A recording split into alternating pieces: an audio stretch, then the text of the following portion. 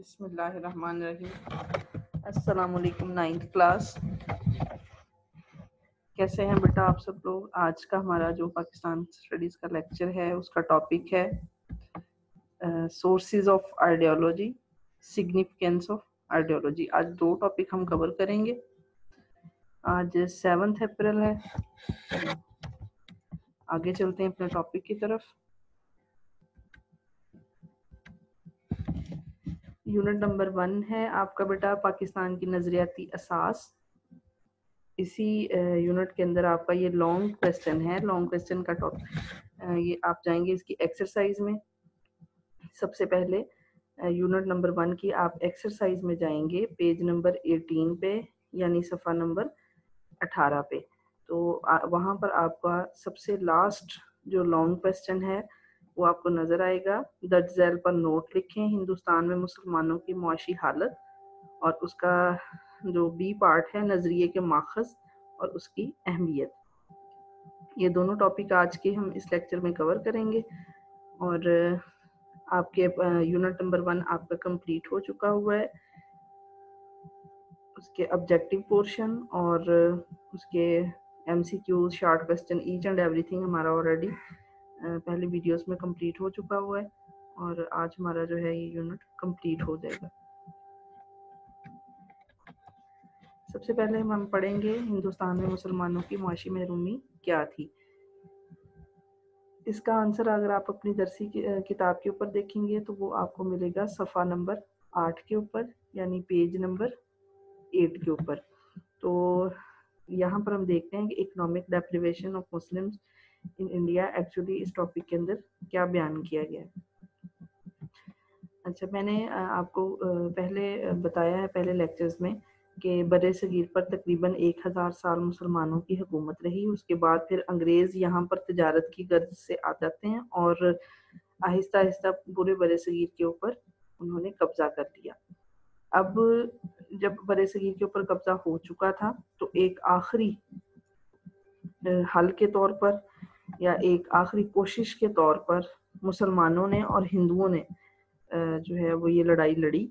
یہ وار لڑی۔ اٹھارہ سو ستاون کے اندر یہ جنگ ہوئی۔ اس کو جو ہے مسلمان اور ہندو اس کو جنگ آزادی بولتے ہیں۔ اس کو وار آف انڈیپینڈنس بولتے ہیں۔ اگر آپ ہسٹری پڑھتے ہیں تو اس میں اٹھارہ سو ستاون کی جو جنگ ہے، اس کو انڈیپینڈنس وار یا اٹھارہ سو ستاون کی جنگ جنگ آزادی لکھا جائے گا۔ جبکہ انگریز یہ سمجھتے ہیں کہ یہ جنگ آزادی یا وار آف انڈیپینڈنس نہیں تھی، دراصل یہ ریوالٹ تھی یا غدر تھا۔ یعنی یہ بغاوت کی جنگ تھی۔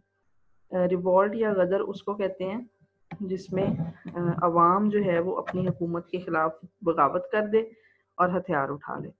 تو انگریزوں کا یہ ماننا تھا کہ چونکہ وہ اس وقت تک بر صغیر کے حکمران بن چکے تھے اور وہ رولر تھے اور مسلمان اور ہندو ان کی رایا تھے، ان کی عوام تھے، تو عوام نے ان کے خلاف بغاوت کی اور ان سے جنگ کی۔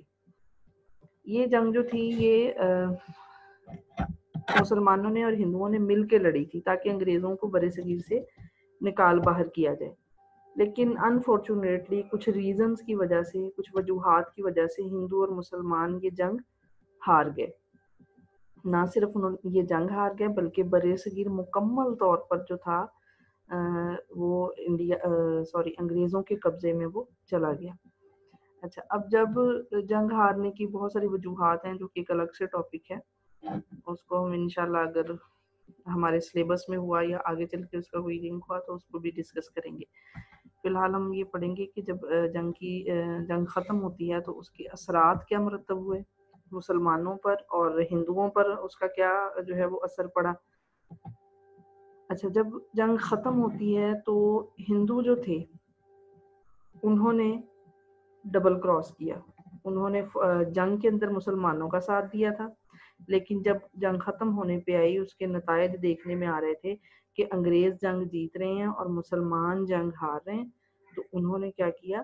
اپنی پارٹی بدل لی جنگ کا پانسا پلٹنے کے لیے۔ وہ انگریزوں کے ساتھ مل گئے۔ اپنے آپ کو سیو کرنے کے لیے انہوں نے انگریزوں کے ساتھ جو ہے وہ انگریزوں کے ساتھ جا کے شامل ہو گئے۔ اور جتنی بھی جنگ کے اندر جو بھی مسائل، جنگ شروع کیوں ہوئی، جنگ جو ہے وہ کس طریقے سے مسلمانوں نے ساری اس کی ایکٹیویٹیز کی، تمام اس کی جو بھی اس کے اندر کاروائیاں ہیں، سب کا سب جو ہے وہ انہوں نے اس کا ملبہ مسلمانوں کے سر ڈالا اور خود جو ہے وہ بری ذمہ ہو گیا۔ اب جب مسلمانوں کے سر پر اس کا سارا بوجھ آیا، تو پھر ہندو جو تھے، انہوں نے اپنے عطاب کا نشانہ ڈائریکٹ مسلمانوں کو بنایا اور ان کی وجہ سے انہیں سنگین نتائج بھی بھگتنا پڑے۔ اب انگریزوں نے جو ہے، وہ مسلم دشمنی نکالی، تعصب دکھایا اور صرف اس لیے کہ مسلمانوں نے جو ہے، وہ ہمیں ہمارے ساتھ جنگ کا یا برے صغیر سے ہمیں نکالنے کا سوچا، تو انہوں نے جنگ کے بعد کیا کیا مسلمانوں کو سب سے پہلے کیا کیا جتنی بھی سرکاری ملازمتیں اس وقت جو بھی گورنمنٹ کی جابس تھیں اسپیشلی جو برے صغیر کی آرمی تھی، وہاں پر تمام جتنے بھی مسلمان موجود تھے، سب کو جو ہے ان عہدوں سے فارغ کر دیا اور پابندی لگا دی کہ سرکاری ملازمت کے ملازمت پر مسلمان جو ہیں وہ کبھی بھی اس کے اہل نہیں ہیں۔ ایون دیٹ کہ وہاں پر جب کبھی جابز وغیرہ آتی ہیں جو جابس پہ لوگوں کو رکھا جاتا تو باقاعدہ وہاں پر مینشن کر دیا جاتا کہ بھئی مسلمان جو ہیں وہ اپلائی کرنے کے اہل نہیں ہیں۔ اس طرح مسلمان قابل بھی تھے، ان کا رائٹ بھی تھا کہ وہ اعلیٰ عہدوں پر جاتے تو، لیکن اس کے باوجود وہ ان چیزوں سے محروم رکھے جاتے اور جو ہے وہ ہندو جو ان سے کم اہلیت کے تھے، کم قابل تھے وہ ان کو یہ ملازمتیں مل جاتی۔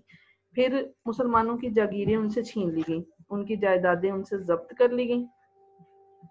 مسلمان جتنے بھی کسان تھے، ان کی زمینیں ان سے لے لی گئیں، ان کی جاگیریں غیر، اور زمینیں غیر مسلموں کو انعام کے طور پر دے دی گئیں۔ اور مسلمان جو تھے، وہ زمینوں کے مالک کی بجائے مزارے بنا دیے گئے۔ مزارہ کہتے ہیں جو زمینوں کے اوپر، کسانوں کے ساتھ ہیلپر ہوتے ہیں، جو کام کرتے ہیں۔ اچھا اب اس میں ایک چیز یہ بھی ہے کہ اس وقت بنگال کے اندر یہ بڑا چلا کہ بھئی کچھ نوابوں کی جاگیریں جو تھیں، وہ ایک روپے کے عوض خریدی گئیں۔ یعنی گورنمنٹ نے جو ہے، اس وقت کی برٹش جو سرکار تھی، انہوں نے کہا جی کہ اگر آپ جو ہے، وہ اتنا ٹیکس ہمیں پے نہیں کریں گے، تو ہم آپ کی زمین، سرکار آپ کی جو زمینیں ہیں، وہ ایک روپے کے عوض آپ سے خرید لے گی۔ بہرحال مسلمانوں کے حالات اس وقت بہت زیادہ خراب تھے۔ سر سید احمد خان اس وقت لیڈر ہی ہمارے پچھلے لیکچر میں میں نے آپ کو ان کے بارے میں ڈیٹیل سے بتا دیا تھا کہ سر سید احمد خان جو تھے، یہ مسلمانوں کو گائیڈ کر رہے تھے اور انہوں نے جو ہے وہ اس وقت ایک سٹیٹمنٹ دی جی کوئی بلا آسمان سے ایسی نہیں اتری جس نے زمین پر پہنچنے سے پہلے کسی مسلمان کا گھر نہ ڈھونڈا ہو۔ یعنی انہوں نے کہا جی کوئی بھی اس وقت مشکل یا آفت یا مصیبت ایسی نہیں تھی جو مسلمانوں پر نازل نہ ہوئی ہو، جو مسلمانوں کے لیے نہ اتری ہو۔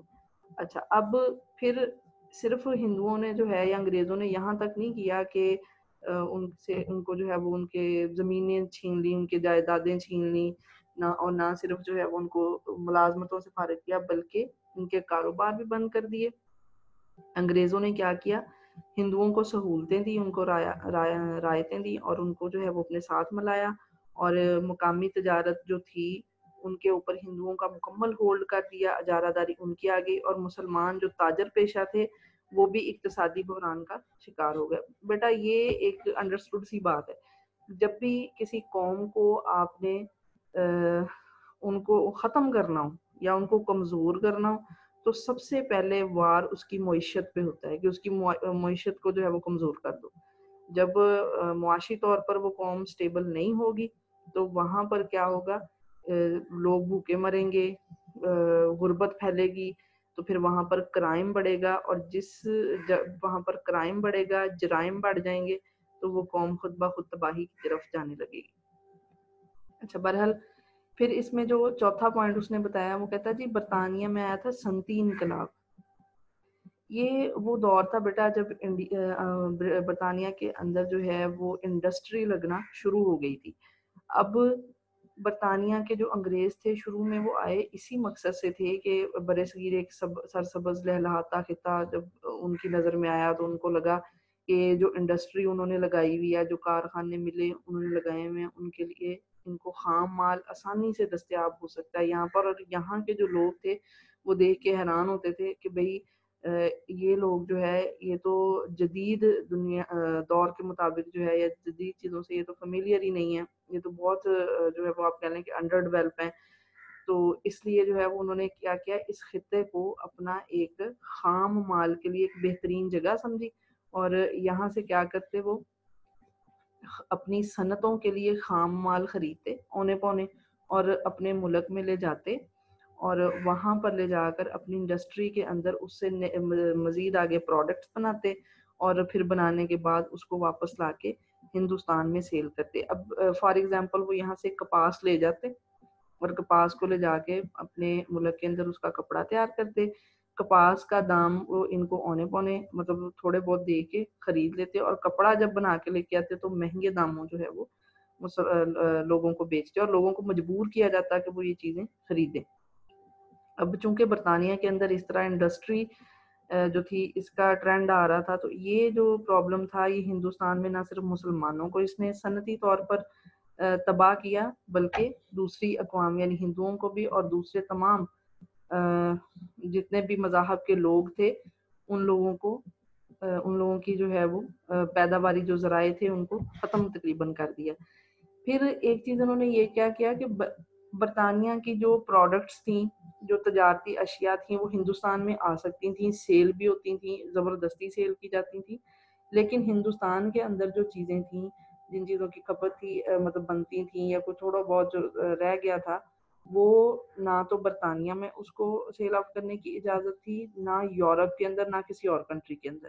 تو اس کی وجہ سے کیا ہوا کہ ہندوستان کی معیشت کمزور ہو گئی، لاکھوں افراد بے روزگار ہوئے، جن میں اکثریت مسلمانوں کی شامل تھی۔ صرف اتنا ہی نہیں ہوا، بلکہ اٹھارہ سو ستاون کی جنگ آزادی کے بعد مسلمانوں کا قتل عام کیا گیا۔ تعلیمی جو ہے وہ اداروں کے دروازے ان پہ بند کر دیے گئے تھے۔ کاروبار ان کے بند ہو گئے اور ان کو جو ہے وہ صرف مزار ملازم یا اس طرح اگر کوئی ان میں، ان مسلمانوں میں سے کوئی اسٹیٹس کے راجے نواب تھے ان سے بھی ان کی اسٹیٹس لے لی گئیں سارا۔ تو اس طریقے سے جو ہے وہ مسلمانوں کو برے صغیر کے اندر اٹھارہ سو ستاون کی جنگ آزادی کے بعد معاشی طور پر اتنا کمزور کر دیا گیا، اتنا کمزور کر دیا گیا کہ وہ ہندوؤں اور انگریزوں کے سامنے گھٹنے ٹیکنے پر مجبور ہو گئے۔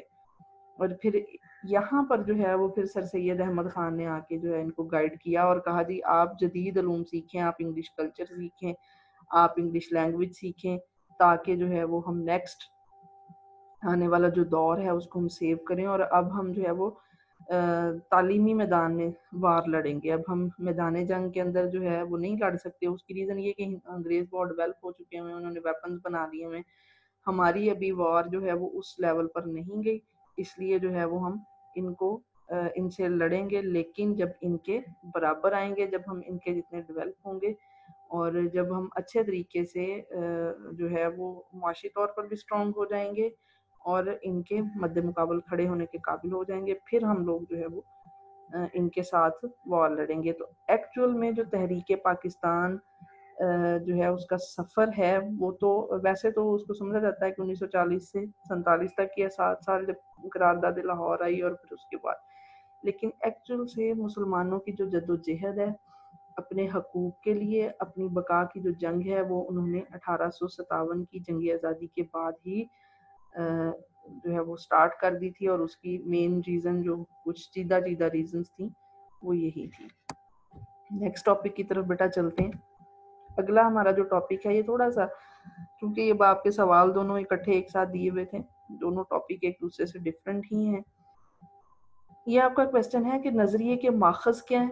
تو اور اس کی جو ہے وہ اہمیت کیا ہے؟ اس کا اگر آپ آنسر دیکھیں گے اپنی درسی کتاب کے اوپر، تو وہ آپ کو ملے گا پیج نمبر ٹو اور تھری کے اوپر۔ ٹو کے اوپر نظریے کے ماخذ ہیں اور تھری کے اوپر نظریے کی اہمیت ہے۔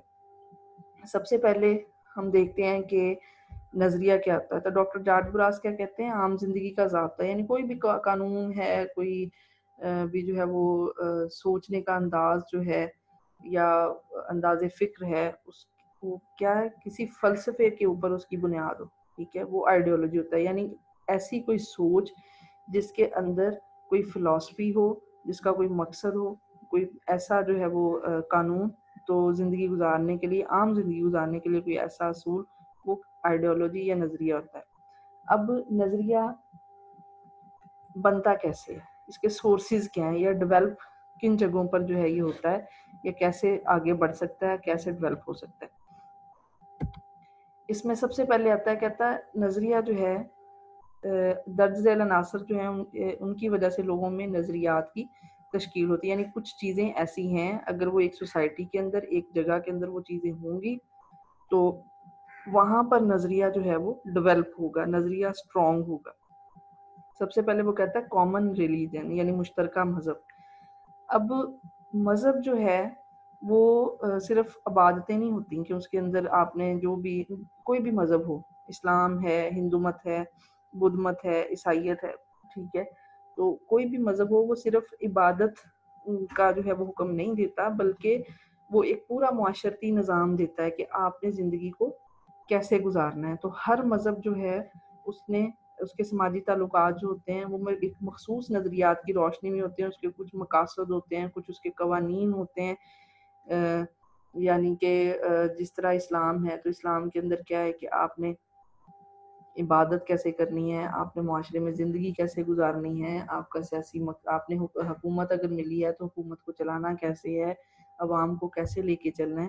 اسی طرح اسلام کے اپنے رولز اینڈ ریگولیشنز ہیں کرسٹینٹی کے اپنے ہیں، بدھ مت کے اپنے ہیں، ہندو مذہب ہندوازم کے اپنے ہیں۔ تو جہاں پر مذہب ایک ہوتا ہے، اس جگہ پر اس قوم کے اندر ایک نظریہ ڈیولپ ہو سکتا ہے۔ نظریہ جو ہے وہاں پر بن سکتا ہے۔ اسی طرح وہ کہتا ہے، یورپ جو ہے، وہ نظریہ عیسائیت کے تحت ہے اور جاپان جو ہے، یہ نظریہ بدھ کے تحت ہے اور ہندو نظریہ ہندوازم کے تحت اور مسلمان نظریہ اسلام کے مطابق زندگی بسر کرنا چاہتے ہیں۔ اچھا اس کے بعد وہ کہتا ہے کامن ریس پھر ایک، جہاں پر مشترکہ نسل یعنی ایک نسل کے لوگ رہتے ہوں گے نا، ان کے اندر بھی نظریات، ان کے مشترک ہوں گے۔ کیونکہ ایک ہی نسل کے جو لوگ ہوتے ہیں نا، فرض کریں ایک فیملی ہے۔ تو ایک فیملی جو ہے وہ یا ایک خاندان جو ہے، اس میں آپس میں پیار، محبت، اظہار، قربانی اور اخوت، یہ سارے ان کے اندر جو ہے وہ آپ کہہ لیں کہ جذبات جو ہیں یہ پروان چڑھتے ہیں اور یہ بالکل ایک قدرتی سا عمل ہے۔ کیونکہ جہاں پر ایک فیملی رہتی ہے، ان کے اندر آپس میں پیار، محبت اور اسی طرح اگر آپ دیکھ لیں، ایک کاسٹ کے جو لوگ ہوتے ہیں، اسی طرح ایک جو ریس کے، ایک نسل کے جو لوگ ہیں ان کے اندر ہمدردی اور قوت کا جذبہ ضرور ہوتا ہے۔ تو کیونکہ وہ ایک نسل سے تعلق رکھتے ہیں تو ان کے اندر ایک مضبوط ایک ریلیشن ہوتا ہے، ٹھیک ہے؟ اور یہ ریلیشن ہوتا ہے اس کے خون کے رشتوں کا۔ تو اس وجہ سے جہاں پر ایک ہی طرح کے لوگ رہتے ہوں، ایک ہی نسل کے لوگ رہتے ہوں، ان کے اندر بھی نظریہ ڈیولپ ہو سکتا ہے۔ وہاں پر بھی نظریہ ضرور جو ہے وہ ترقی کرتا ہے۔ پھر کہتا ہے، مشترکہ زبان اور رہائش۔ اب لینگویج جو ہوتی ہے لینگویج کا کام کیا ہے؟ جی آپ نے اپنے جذبات اور احساسات، اپنے خیالات جو ہے، وہ دوسرے کو کنوے کرنے دوسرے کو پہنچانے تو جہاں پر لوگ ایک دوسرے کی لینگویج کو سمجھتے ہیں، زبان کو سمجھتے ہیں، رہائش سب کی سیم ہو یعنی ایک ہی علاقے کے لوگ۔ تو قدرتی طور پر لوگوں کے جو اصول ہیں، جو قوانین ہیں، جو زندگی گزارنے کے طریقے ہیں وہ کافی حد تک ایک جیسے ہو جاتے ہیں۔ اب ایک آپ کو انٹرسٹنگ بات یہاں پہ بتاتی ہوں۔ جب انگریز برے صغیر میں آئے نا، تو ہندوؤں نے بہت جلدی انگلش زبان کے اوپر عبور حاصل کر لیا، انگلش زبان سیکھ لی۔ مسلمانوں نے انگلش زبان نہیں سیکھی، انہوں نے تو باقاعدہ جا کر یہ چیزیں سیکھنی شروع کی بڑے پیمانے پر بڑی تعداد میں اٹھارہ سو ستاون کی جنگ آزادی کے بعد۔ تو اب ہوتا ایسے کہ برے صغیر کے اندر جو انگریز تھے، ان کو اردو نہیں میکسیمم جو ہے وہ نہیں آتی تھی یا فارسی نہیں آتی تھی، ادھر سے مسلمان جو تھے، ان کو انگلش نہیں آتی تھی۔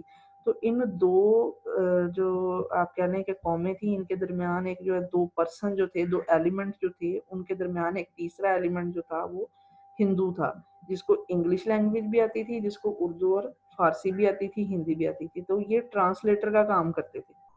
اب بعض اوقات اس طرح ہوتا ہے کہ وہ ایک عام سی بات ہوتی ہے اور انگریز اور جو مسلمان ہوتے وہ ایک دوسرے کے گلے کاٹنے تک پہنچ جاتے تو وہ درمیان میں جو ایک تھرڈ ایلیمنٹ ہوتا، وہ کیا کرتا کہ وہ لینگویج کی ٹرانسلیشن ہی غلط کر دیتا۔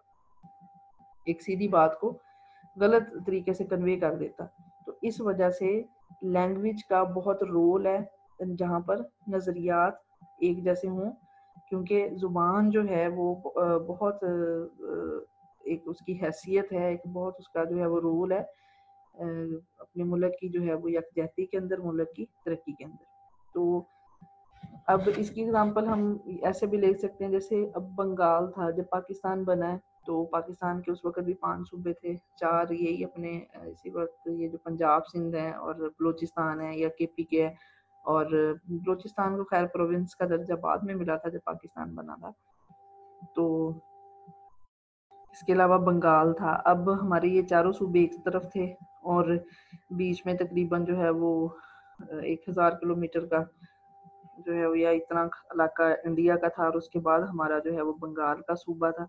تو اب چونکہ یہ چاروں صوبے ایک طرف تھے، ان لوگوں کے اندر زیادہ یکجہتی اور سارا کچھ تھا بنگال، کیونکہ تھوڑا سائڈ پہ تھا، اس وجہ سے جو بنگال کے لوگ تھے، جب انیس سو اکہتر میں بنگال علیحدہ ہوا، تو بہت ساری چیزیں ایسی تھیں۔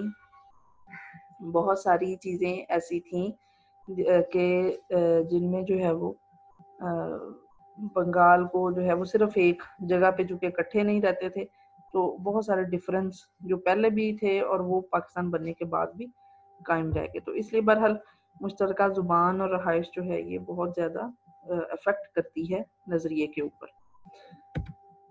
اچھا پھر سیاسی مقاصد۔ جب کسی قوم کا سیاسی مقصد ایک ہونا تو پھر وہاں پر ان کا نظریہ جو ہے وہ بھی ایک ہو جاتا ہے۔ اور جب نظریہ ایک ہوتا ہے تو یہ نظریات پھر جب ملتے ہیں سیاسی مقاصد کے لیے، اپنی تو کوئی قوم اپنی زندگی کی بقا کی جنگ لڑتی ہے آزادی کے لیے، تو وہ کیا ہوتا ہے؟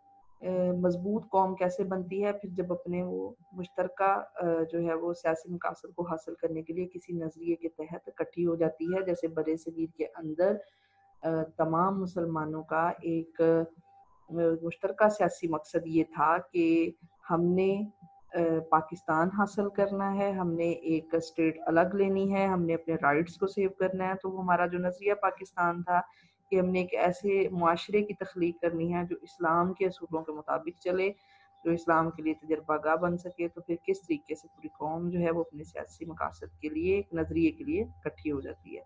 اسی طرح ہر دور میں کہتا ہے نظریات کو بنانے کے لیے، نظریات کی تشکیل کے لیے مشترکہ رسم و رواج کا بڑا عمل دخل جو ہے وہ رہا ہے۔